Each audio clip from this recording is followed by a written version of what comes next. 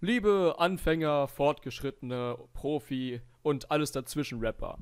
Es ist soweit. Nach zwei Staffeln Musik Only jetzt mal wieder, kommt endlich wieder ein gutes Rap-Battle auf den Markt. Ähm, ich habe natürlich in dem Spielraum zwischen MRB 2 und MRB 3, was by the way inzwischen zweieinhalb Jahre her ist, Alter, überleg mal, 2016. Mai 2016 war das Finale geplant. Das ist echt krass.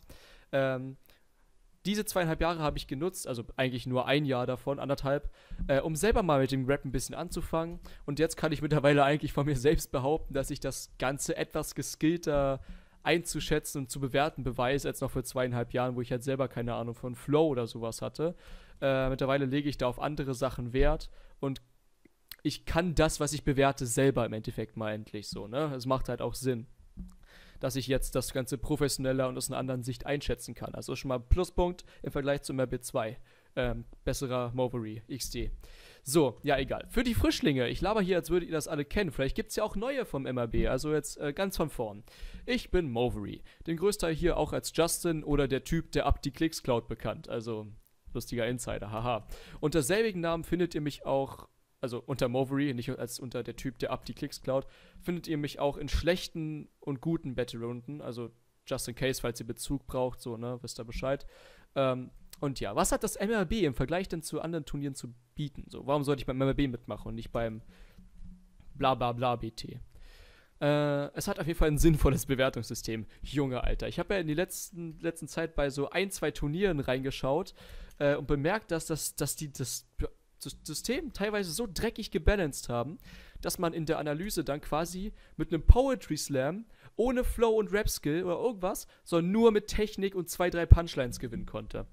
Und so einen Dreck braucht ihr euch als Freunde des guten Battles echt nicht zu geben. Denn ich würde behaupten, dass ich die ganze Sache ganz gut beurteilen kann und jetzt ein okayes Bewertungssystem auf die Beine gestellt habe, das natürlich noch in der Bearbeitung ist. Aber dazu kommen wir eh später. Ähm, gut.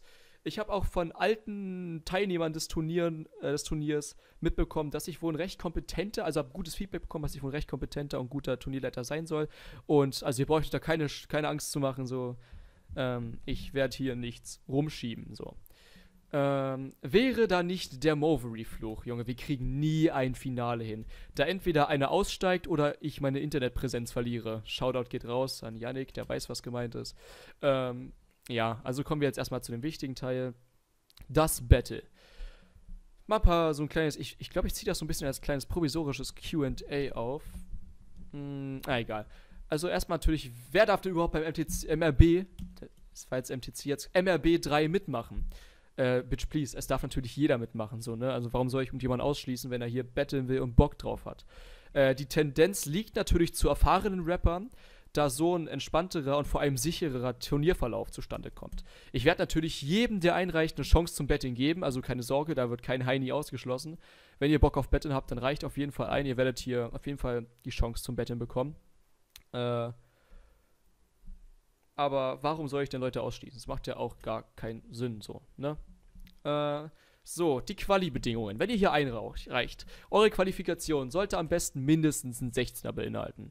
Also so ein 16er Kicken für eine Quali ist halt Standard, würde ich sagen. Am besten auf einem Freebeat oder einem Beat, den ihr selbst gebaut oder gekauft habt. Pickt und probiert auf jeden Fall viel rum, also fahrt nicht nur eine Schiene. Ähm, falls ich einen Copyright-Strike kriege, fliegt ihr dann halt, aber Nein, also so weit kommt es ja meistens gar nicht. Es kommt ja eher durch Videos. Wenn ihr ein Beat benutzt und das Video von mir aus fremdmonetarisiert wird, habe ich damit gar kein Problem, weil ich monetarisiere hier eh nichts. Also es gibt auch Beats, die sind nicht free, aber die werden in anderen Videos geduldet, ne? Wisst ihr Bescheid so. Solange die Runde nicht gesperrt wird, ist ja auch für euch dann scheiße, ist auf jeden Fall alles legitim. Äh, Video könnt ihr in der Quali eigentlich lassen, ist aber nett so. Also gerade in der Quali könnt ihr einfach mal zeigen, was ihr so drauf hat und so ein Video trägt natürlich zur Gesamtatmosphäre stark bei.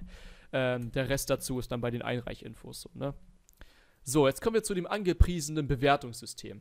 Ich habe mich hingesetzt, also das System wird wahrscheinlich noch überarbeitet werden, äh, aber ich werde sagen, dass es auf jeden Fall so folgendermaßen abläuft. Ich habe das mal eingeteilt, zum Beispiel in wichtige Kategorien und bedingt wichtige Kategorien. Bedingt wichtig deshalb, weil sie nicht unwichtig sind, aber sie sind wichtiger, unwichtiger als die wichtigen Kategorien. Jetzt bin ich verwirrt.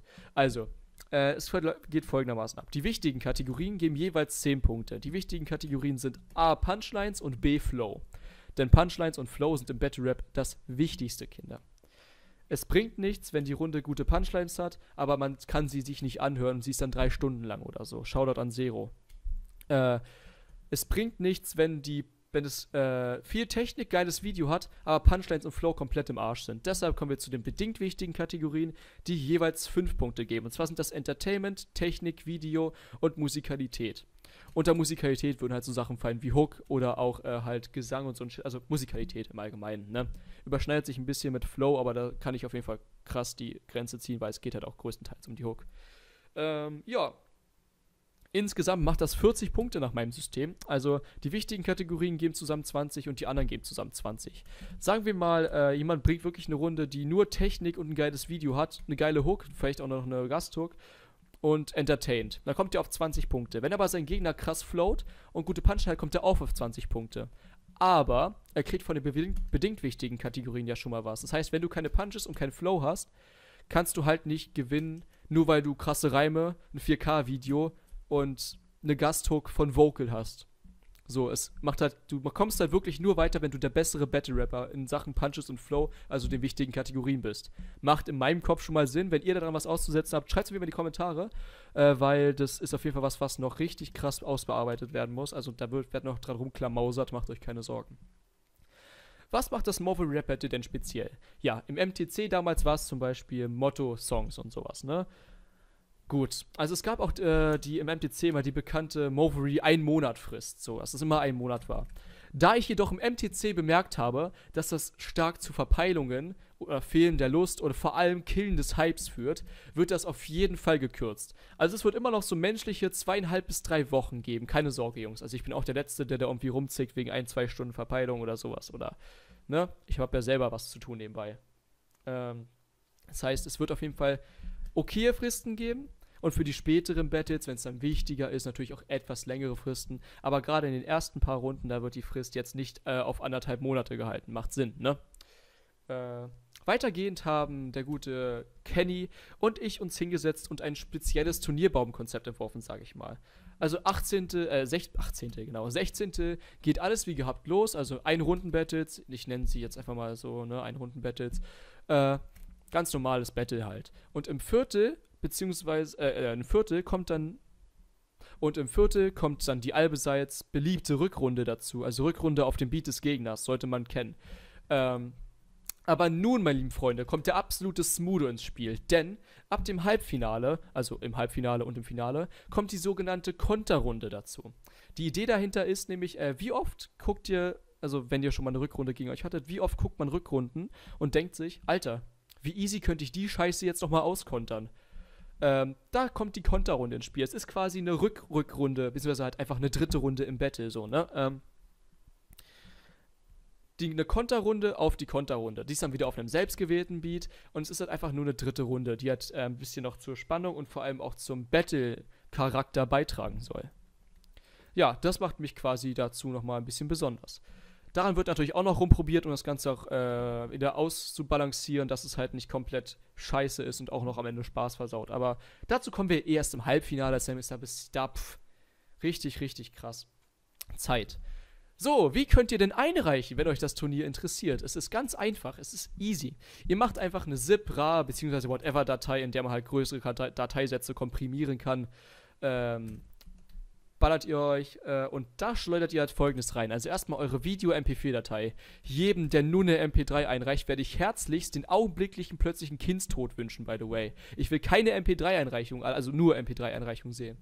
Ähm, dann eine Textdatei mit dem Text, Links zu Social-Media-Seiten, falls vorhanden, Infos zum Beat-Producer, also gegebenenfalls den Link zum Beat und vielleicht noch den Beat zum Producer, so, je nachdem, wie krass ihr äh, da seid.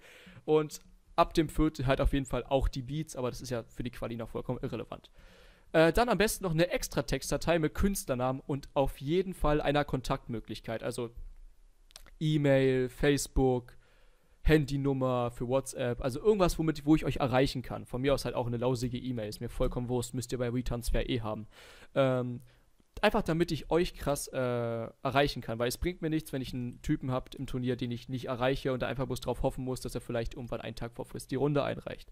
Ähm, ist einfach komplett aus turnierlogistischen Gründen, dass ich einfach mal euch kontaktieren muss. Deshalb der Kontakt. Einreichen könnt ihr das Ganze dann äh, an Morphery Battle 2015 at gmx.de. Also die seht ihr hier eingeblendet, findet ihr auch unten in der Beschreibung nochmal zum Einreichen dann fürs Rap Battle. Und Frist ist ab dem Datum, an dem das hier hochgeladen wird. Das seht ihr auch unten in der Beschreibung. Da steht das Datum und da steht auch die Frist drin. Und zwar sind es ab dem Upload-Datum 1,5 Monate. Ich sage deshalb kein konkretes Datum, weil ich das hier ein bisschen im Voraus aufgenommen habe. Vielleicht auch schon ein paar Sachen mittlerweile geändert habe. Hm, hm, wahrscheinlich nicht. Das würde dann unten drin stehen. Ähm, auf jeden Fall ab dem Tag 1,5 Monate, das sind anderthalb für Gehirnakrobaten. Äh, ja, viel Spaß beim Einreichen. Ähm, ich hoffe natürlich, dass die allseits beliebten Männer, die hier schon immer beim MRB dabei waren, die Stammgäste sind, außer vielleicht Roter, der entfernt sich ja von dem Ganzen mittlerweile ein bisschen. Trotzdem, Kussi geht raus an dich, Bruder, falls du das hier hörst. Ähm, dabei sind und ich hoffe natürlich auch auf viele neue Gesichter, dass wir mal ein 16. zusammenkriegen und dann mal ein richtig geiles Turnier aufziehen können, weil es vielleicht die letzte Battle-Staffel sein wird, je nachdem, wie, wie mich das Turnier jetzt hier äh, ehrgeizig mäßig, ehrgeizmäßig antreibt. So. Und wenn ihr weitere Fragen habt zu dem Bewertungssystem, zum Einreichen, zu bla bla bla, achso, bevor irgendjemand fragt, ja, Teams sind erlaubt, aber seid bitte maximal Dreier-Teams, okay? Das ist auch geregelt. Ähm, wenn ihr weitere Fragen habt, stellt sie einfach unten. Ich werde mir die Kommentare alle durchlesen und werde darauf antworten. Ist mir egal, ob ihr kommentiert, ob ihr eine PN schickt bei YouTube oder bei Twitter oder bei Facebook die Leute, die mich bei WhatsApp haben, ob die mir bei WhatsApp schreiben. Wenn ihr die Fragen habt, stellt sie auf jeden Fall. Ich hoffe, wir kriegen da ein angenehmes Teilnehmerfeld zusammen, ein geiles Turnier und damit äh, Movery, Peace out, ihr kleinen Bribbers. Schisch.